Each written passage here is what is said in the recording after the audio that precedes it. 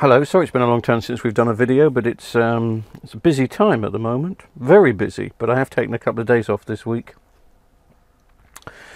And I'm just getting a few things done here.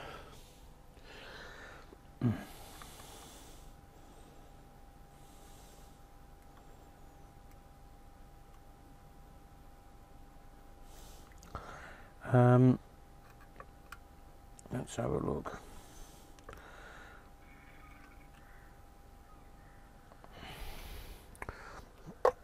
Just trying to repair a power board for. Um, well, I've got a funny feeling this power board is mine now. It's a Vestel power board, and it is. Um, is it really? Yes. It's an IPS. I don't know, 17 70, I don't know. Take the sticker off.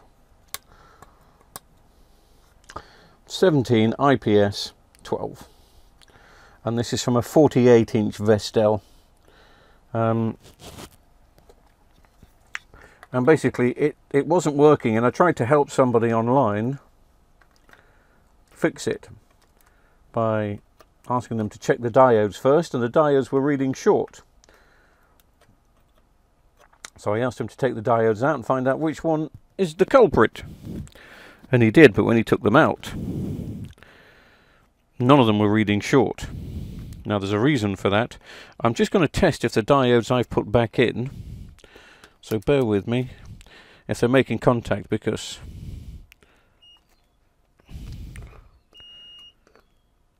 no, that one they are, but that one isn't, and that's the one...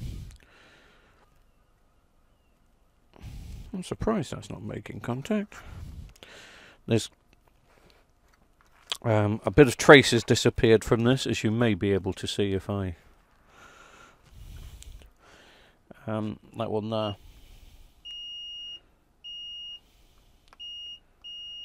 Oh, it is working fine now. Let me just see if it's loose. No.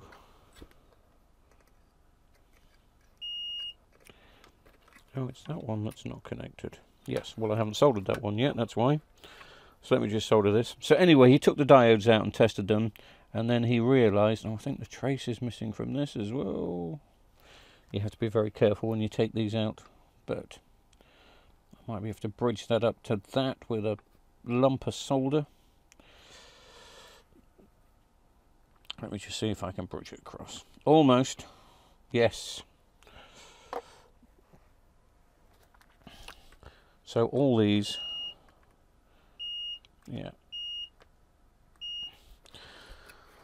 So these are now probably reading short, and they are. Um, now, before I asked him to do that, test these diodes, I did say the biggest culprit on these boards is the IC, which is this one here. Hopefully you can see it.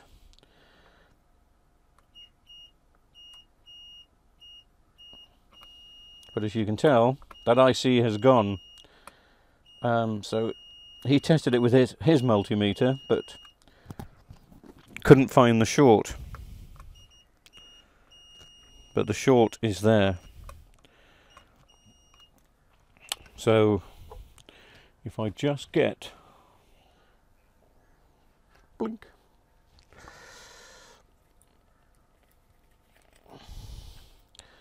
A bit of solder on these. Take this out.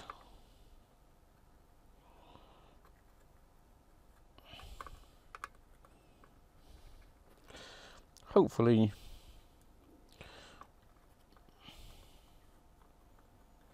the short will just disappear.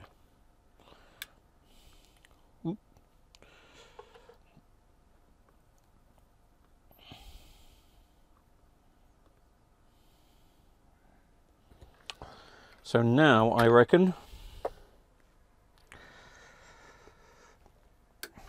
these diodes will read as diodes.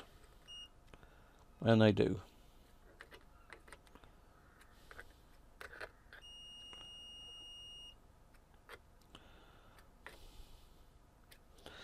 Yeah, they're fine.